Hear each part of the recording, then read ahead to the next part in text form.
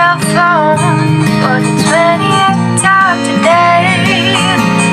Reading that text you sent me again, though I memorized it anyway. It was an afternoon in December when it reminded you of today. When we bumped into each other, you didn't say hi, cause I looked away.